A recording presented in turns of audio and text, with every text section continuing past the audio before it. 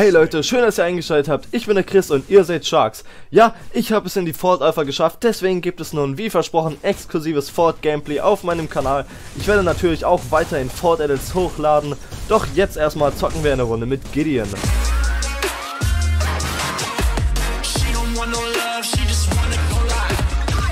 Wir zocken gegen zwei Tanks, deswegen benutze ich ein Bild, in dem ich zuerst auf Erdflame gehe. Das ist das lilane Item, mit dem der Burn-Effekt auf Gegner angewandt wird. Diesen Bild hat mir Pizzas empfohlen, denn ich habe auf Twitter gesehen, wie er ein paar richtig geile Gideon-Plays hochgeladen hat und die Gegner komplett zerfetzt hat. Und da musste ich ihn einfach anschreiben, hey, wie hast du das gemacht, was hast du für ein Bild? Denn er hat das Game jetzt schon etwas länger gezockt und war auch damals ein Paragon, ein Pro oder Semi-Pro. Und da hat er mir ein paar Builds empfohlen, wovon ich einen mal in diesem Video ausprobieren wollte. Guckt euch gerne auch mal seine Plays selber an, dafür müsst ihr einfach nur auf Twitter gehen. Wenn ihr einmal dabei seid, seid, könnt ihr ja auch auf meinem Twitter-Account mal vorbeischauen. Dort erfahrt ihr auch immer sofort Neuigkeiten sofort in den anderen Paragon 2 Anwärtern, sowie wann ich ein neues Video hochlade. Mein Twitter-Link findet ihr in der Videobeschreibung oder auch auf meinem Kanalbanner. Das Game startet ein bisschen komisch, weil unsere Belika im Draft, wo er ein bisschen verwirrt war, weswegen wir zu zweit auf der Midlane starten. Da passiert aber eine Weile lang relativ viel nichts, deswegen überspringe ich das einfach mal. Sie wollte dann später in den Jungle gehen, aber wie es ausgeht, könnt ihr ja selbst sehen. Lasst mich gerne in den Kommentaren wissen, ob ihr solche geschnittenen Gameplays, die so auf die Highlights reduziert sind, mögt oder ob ihr lieber Bock auf ganze Gameplays habt. Ein Tipp für die Fogwarts, die sind ja im Moment noch nicht so geil wie damals im Paragon, also man kann nicht durchsehen. Die Kamera verändert sich dann immer für eine kurze Weile so, dass du für viel zu lange einfach gar keine Vision hast. Deswegen geht immer so seitlich durch die Fogwall, dann könnt ihr mit der Kamera auch ganz einfach durchgucken und so seht ihr viel schneller, was dahinter ist. Jetzt sind wir gebackt und jetzt konnten wir uns auch direkt Elflame kaufen. Das ist eine sehr starke und auch teure Karte, die gibt uns sehr viel Ability Power und auch Cooldown Reduction, was uns sehr helfen wird, denn unser Meteor hat einen Cooldown von ganzen 8 Sekunden. Cooldown Reduction nehmen wir also gerne mit. Und die passive Fähigkeit des Items ist, dass Gegner, die wir mit Fähigkeiten treffen, einen Burn-Effekt kriegen. Das heißt, sie kriegen über 3 Sekunden 5% ihrer maximalen Gesundheit als zusätzlichen Schaden erteilt. Wenn der Gegner 1500 Leben hat, dann das einfach mal 75 Lebenspunkte. Und wenn er 2000 hat, dann hat er direkt mal 100 weg. Einfach so. Also es ist wirklich eine sehr starke Karte. Vor allem mit Gideon, wenn man seinen Meteor einsetzt. Ich weiß nicht, ob dieser Burn-Effekt bei Fähigkeiten, die mit Tick-Damage dealen, bei jedem Tick angewandt wird. Wenn dem so wäre, dann wäre das auf jeden Fall richtig krass. Darauf habe ich noch nicht geachtet. Wenn ich es auch nicht weiter will, aber ist auf jeden Fall richtig gut. Eben ist die Framerate ja ziemlich krass gedroppt, aber keine Sorge, das passiert in dem Gameplay nicht nochmal. Als nächstes gehen wir auf die lilanen Boots. Die sind richtig gut, denn die geben uns eine Menge Movement Speed. Zwar keine Power wie zum Beispiel die blauen, aber dafür bekommen wir sogar nochmal extra Geschwindigkeit, wenn wir außerhalb eines Kampfes sind. Das wird uns auf jeden Fall beim Positioning auf der Map helfen und uns erlauben, besser chasen oder davon zu rennen. Übrigens, wenn ihr auch mal so diesen Bug habt, dass wenn ihr respawnt und gerade im Item-Shop seid, dass ihr auf einmal euch äh, richtig bewegt wie in-game, nicht mehr die Maus im Item-Shop habt, dann müsst ihr einfach L drücken, damit könnt ihr normalerweise einen Bug anzeigen. Dadurch habt ihr nämlich wieder die Maus, dann könnt ihr einfach oben auf Exit gehen und dann einfach mit ESC auch aus dem Bug-Report rauskommen. Das ist irgendwie immer so, wenn ihr im Item-Shop seid, während ihr noch tot seid und dann gerade respawnt, also der Timer abgelaufen ist, dann wird die Steuerung halt so direkt übernommen. Das, das muss auf jeden Fall noch gefixt werden. Übrigens, großartige Neuigkeiten. Ihr kennt doch sicherlich alle noch die Paragon What the Fuck Moments, die Aided auf seinem YouTube-Kanal damals hochgeladen habt. Ich habe mich jetzt entschlossen, eine ähnliche Serie auf meinem Kanal hochzuladen, nämlich eine Fort What the Fuck Moments Series. Die erste Folge ist auch schon fertig, die kommt nächsten Montag, 17 Uhr. Wenn ihr also lustige oder geile Plays habt oder Bugs und ihr die gerne in solch einem Video sehen wollt, dann sendet die einfach an meine E-Mail-Adresse sharksxd.web.de. Die habe ich euch auch in die Videobeschreibung verlinkt, keine Sorge. Und in der Endcard ist sie auch nochmal zu sehen. Ich habe darauf gewartet, dass sie sich zu mir teleportiert, so dass ich mich dann endlich von ihr wegteleportieren kann. Doch durch ihre Ultimate wird mein Teleport einfach abgebrochen. Meiner Meinung nach viel zu krass, weil noch nicht mal die Animation für den Teleport hat begonnen. Da wurde der Cooldown schon eingesetzt und ich konnte meinen Teleport nicht mehr benutzen. Als nächstes gehen wir zur Duo Lane und gucken, ob wir einen Gank hinkriegen. Von Gank kann man hier eigentlich nicht wirklich sprechen, da die Gegner sowieso ziemlich safe unter ihrem Tower stehen, aber wir versuchen trotzdem unser Bestes. Und da die Midlane sowieso gesettet ist und mein Turm relativ sicher ist, haben wir sowieso nichts anderes groß zu tun. Raptors würde ich jetzt nicht schaffen, der Mana Buff ist auch noch nicht wieder zurück und die Jungle Camps will ich nicht stehen, beziehungsweise halte ich im Moment für nicht so wertvoll, wie den Tower zu pushen. Das einzige, wovor ich mich im Moment noch ein bisschen fürchte, ist, dass die gegnerische Countess auch dazu kommt. Deswegen versuche ich die ganze Zeit ein Auge nach rechts aufzuhalten und gucke auf der Map, ob sie vielleicht irgendwo erscheinen. Da haben wir jetzt sollte es einfacher werden, den Tower zu pushen. Belika würde ich auch noch ganz gerne ausschalten, schaffe ich jedoch im Moment leider noch nicht. Und dass Havoc dazu kommt, treten den ruhig sogar an kann, das könnte schließlich eventuell auch nicht mehr weit sein. Ganz habe ich mich von der Lane jedoch immer noch nicht verabschiedet, denn wie ich auf der Karte sehe, sind die Minions auf meiner Midlane auch immer noch ziemlich weit gepusht. Also versuchen wir weiterhin auf dieser Lane hier etwas anzurichten.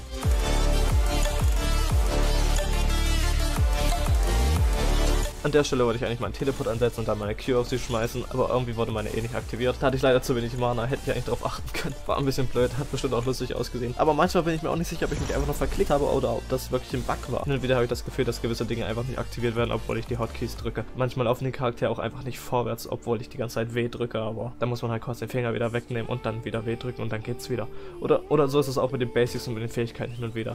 Ist passiert selten, ist nicht weiter wild, ist halt nur mal eine Alpha, aber das ist auf jeden Fall auch noch etwas, das behoben werden muss. Hier dachte ich schon ganz kurz, dass es brenzlig werden würde, aber zum Glück ist noch nichts weiter passiert. Die Count is back, das ist auf jeden Fall zum Vorteil für uns. Das heißt für uns, dass wir aggressiver pushen können. Eine Gefahr weniger für uns auf jeden Fall.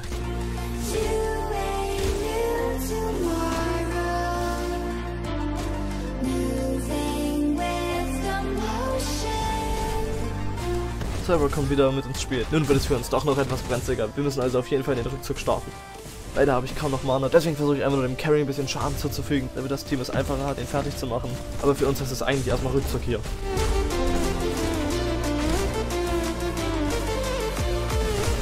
Ich kann zwar gerade keine Fähigkeiten einsetzen, aber meine Basics denen auch ziemlich gut Schaden und die Minion Wave ist auf meiner Seite.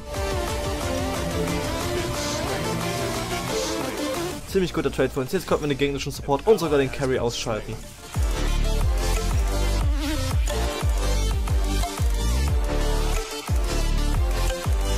Gefahr für uns wäre im Moment hauptsächlich Countess, da Cedric auch ziemlich low und offenbar gebackt ist. Da wir sie aber kurz in der Midlane gesehen haben und Kwang die Midlane auch pusht, fühlen wir uns relativ sicher dabei, diesen Tower zu pushen. So würden wir so oder so auf jeden Fall richtig gut auf einer Lane pushen können.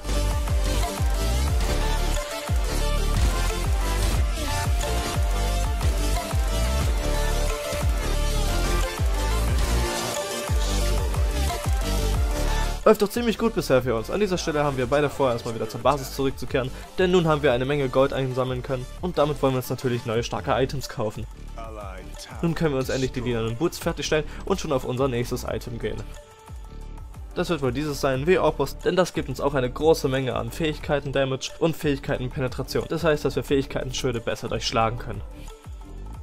Nächste Action läuft schon wieder richtig. Diesmal wollen wir auf Countess gehen oder auf den Murdoch. Deswegen gehen wir nun volle Bude auf den Chase.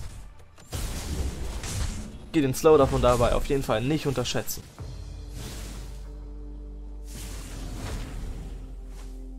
Richtig guter Wurf von Murray, der gibt mir die nötige Geschwindigkeit, um zum Murdoch aufzuholen. Allgemein gefiel mir das Teamplay in dieser Runde richtig gut. Ich weiß nicht, ob der Rest des Teams miteinander gesprochen hat. Ich war auf jeden Fall Solo-Queue, aber falls ihr, die ihr mit mir diese Runde gezockt habt, euch wiedererkennt in diesem Video, fände ich es sehr cool, wenn ihr es mal in die Kommentare schreibt. Richtig geile Runde, Leute, hat mir richtig Spaß gemacht. Geiles Teamplay. Im Raptor Camp geht gerade voll die Action ab, doch ich will nicht, dass wir diesen Tower verlieren, deswegen versuche ich den noch schnell zu safen.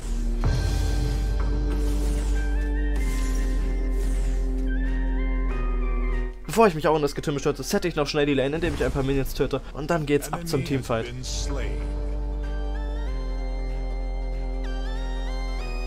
Mein Team hat bereits ziemlich gut aufgeräumt, als ich ankomme, doch ein Snack kann ich mir auch noch gönnen. Sehr gut gemacht, nun können wir uns endlich das extra Gold durch die Raptors holen.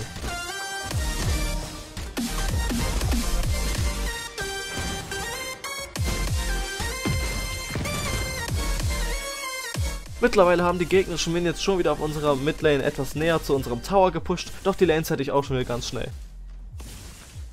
Im Moment haben wir unseren linken Tower noch, doch Countess überrascht unsere Muriel im Jungle, deswegen versuche ich ganz schnell ihr zur Hilfe zu kommen. Doch leider habe ich kaum noch Mana, deswegen versuche ich die Countess zu slowen und mit meinen Basics anzugreifen. Leider hat es Muriel nicht mehr geschafft, doch kriegen wir die Countess wohl mit unseren Basics sogar noch vor unserem Carry. Das lief doch ganz okay. Nun wollten wir eigentlich backen, doch da kommt der Server und will unseren Twin Bust angreifen. Auch wenn ich kaum noch Mana habe, versuche ich natürlich zu helfen, denn meine Basics hitten trotzdem noch ziemlich hart.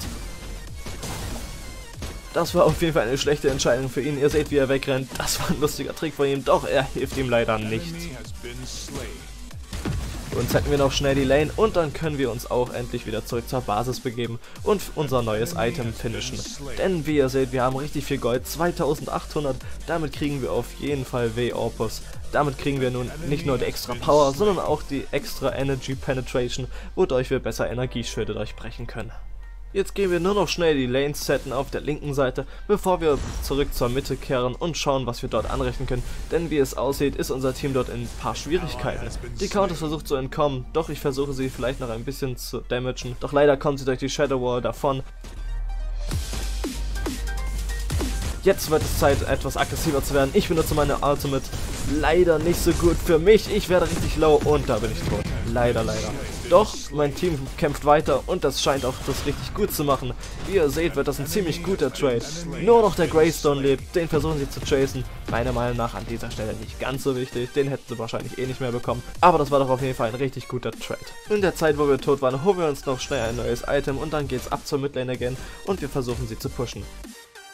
Twinblast hat auf jeden Fall richtig Bock, die Midlane zu pushen und den Greystone nun doch endlich zu kriegen. Und das sehe ich, das macht er ziemlich gut, also gehe ich auch mit rein. Und wir kriegen ihn schon mal so weit, dass er seine Ultimate einsetzen wird.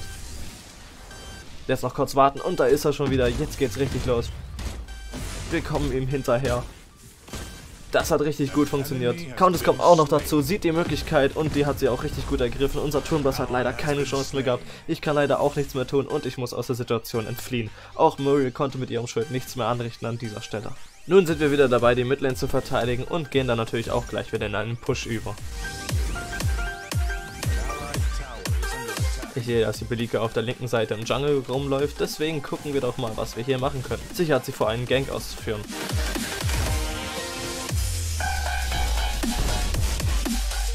Und das tut sie auch, wie wir sehen. Leider misse ich meinen Slow, doch sie hittet ihren Stun und mit ihrer Bombe tut sie ihr richtig dolle weh.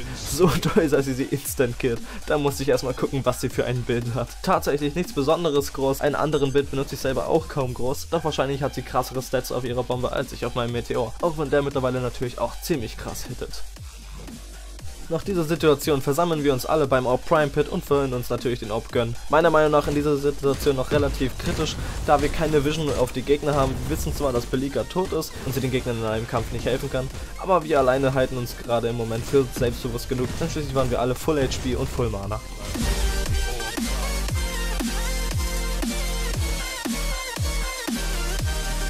Nun heißt es erstmal wieder Mitte pushen, doch an unserem Muriel erkenne ich, dass jemand von uns in Schwierigkeiten ist, deswegen will ich zur Hilfe kommen, doch offensichtlich haben sie die wohl gar nicht gebraucht. Trotzdem laufe ich jetzt erstmal in den Jungle, um zu gucken, auf welcher Lane es sich wohl in naher Zukunft für uns vorteilhaft entwickelt. Übrigens, ich zocke das Game auf hohen Grafikeinstellungen, das ist noch nicht mal episch und ich finde dafür sieht es echt mega geil aus. Und mit 60 FPS und Aufnahme läuft alles ganz flüssig. Bis auf diesen einen Bug am Anfang, aber das ist einmalig gewesen. Währenddessen farm ich noch ein bisschen im Jungle. Nun sehe ich endlich, dass es auf der rechten Seite hart zugeht, beziehungsweise dass wir gut im Vormarsch sind. Wir haben eine riesen Min Minion Wave angeschaut. Der Greystone muss sich zurückziehen und wir können uns ihn und den Tower easy snacken.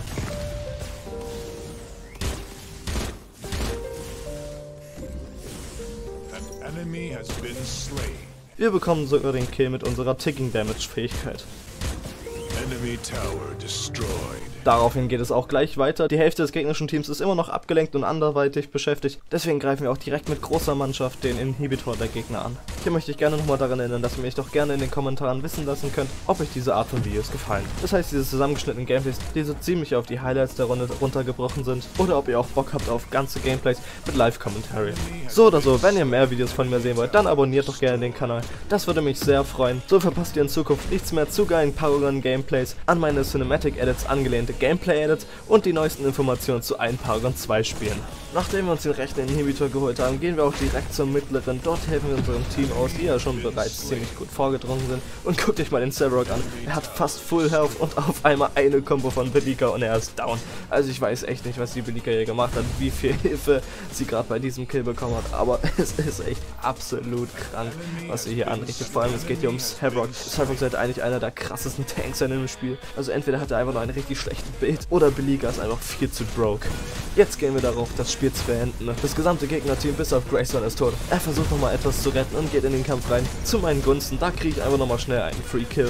Danke dafür. Das soll es für heute erstmal gewesen sein. Wenn ihr mehr Bock auf Fault habt, dann habe ich euch auch nochmal meine neuesten Fault Gameplay Edits in die Videobeschreibung verlinkt. Davon werde ich in naher Zukunft auf jeden Fall noch mehr hochladen. Einen Ausschnitt aus einem davon könnt ihr auch gerade im Hintergrund sehen. Wenn euch das Video gefallen hat, würde ich mich freuen, wenn ihr ihm doch einen Like da lasst. Ich bin raus, also so wie immer. Danke fürs Einschalten und habt noch einen wundervollen Tag. Start now.